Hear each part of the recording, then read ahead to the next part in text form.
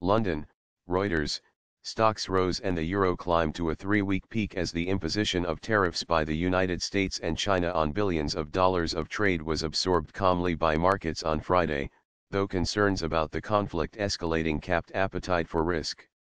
World stocks rose 0.2% to their highest level in a week while Asian stocks climbed nearly half a percent led by a rebound in Chinese shares.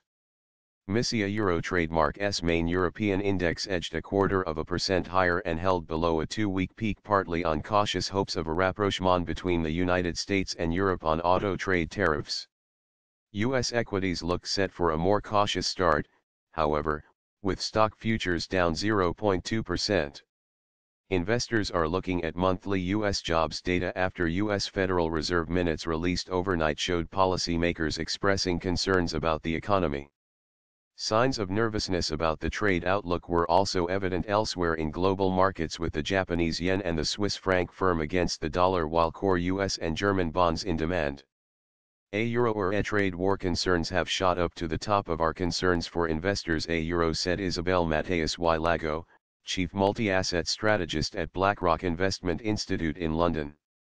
A euro we have to be aware that we are only one tweet away from much broader tariffs becoming a reality a euro she said, adding that investors were trimming back broad exposure to riskier assets.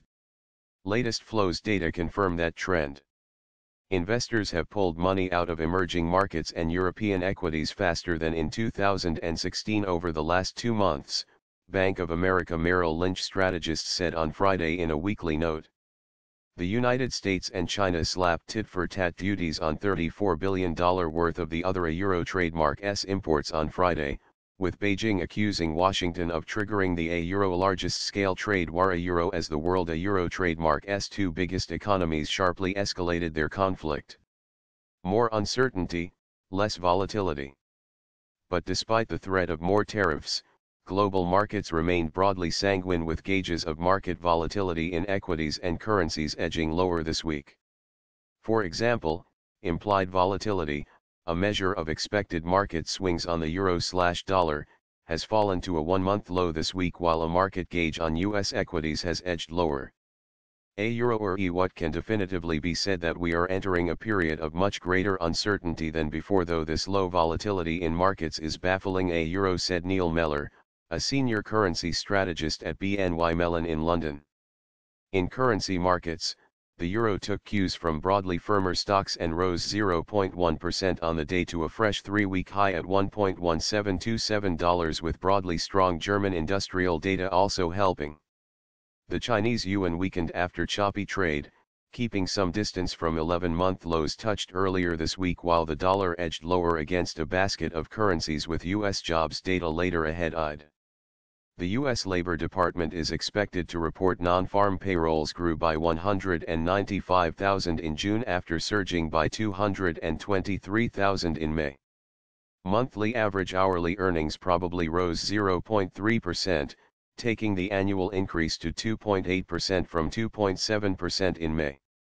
A euro or any misses in today a euro trademark S data could spur a wave of profit taking, given signs that the USD rally looks to be running out of steam a euro said analysts at ING.